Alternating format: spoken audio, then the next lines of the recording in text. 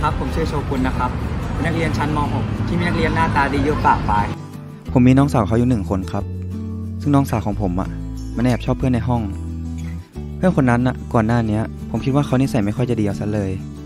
ไม่ดียังไงอะหรอครับ เดี๋ยวผมจะเล่าให้ฟังค่าโฮมรูมของเราวันนี้นะคะ เราจะมาพูดถึงคุณลักษณะที่ผมบอกว่า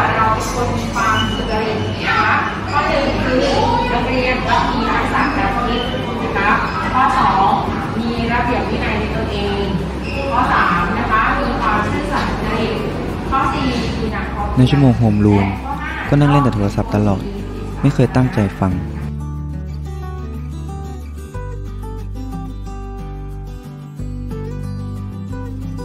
เข้าเรียนก็สาย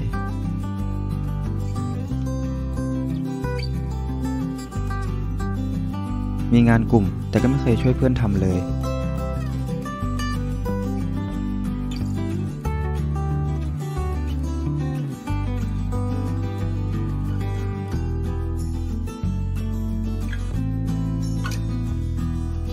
แอบกรอกคะแนนในสมุดเช็คของอาจารย์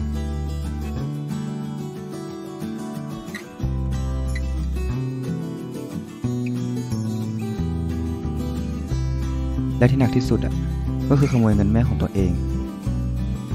แล้วยังไงล่ะครับ น้องผมอะก็ยังชอบเขาอยู่ดี เพราะอะไรนะหรอ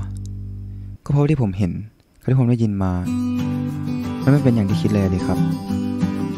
ที่เขาเล่นโทรศัพท์ตอนที่อาจารย์สอน ก็เพราะว่าเขากำลังตอบแทนลูกค้าที่มาซื้อผักของแม่เขาอยู่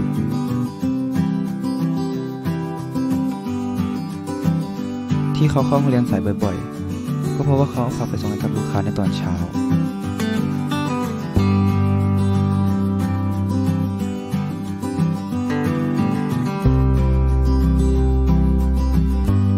งานกลุ่มที่บอกว่าไม่ได้ช่วย สรุปว่าเขาหาข้อมูลมาให้แล้ว เหลือแค่ให้เพื่อนๆช่วยกันนำเสนอเท่านั้นเอง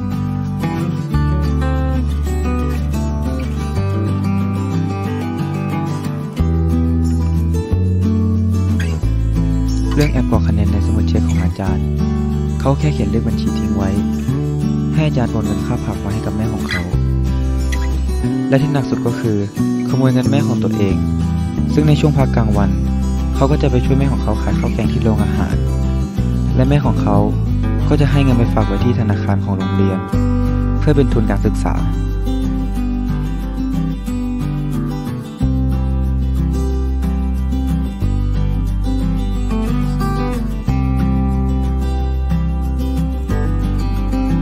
อย่ามองคนเพียงแค่ภายนอกแล้วตัดสิน อย่าเชื่อใครเพียงแค่ได้ยิน จงลองคบเขา พูดคุยกับเขา แล้วเราจะรู้เองว่าดีหรือไม่ดี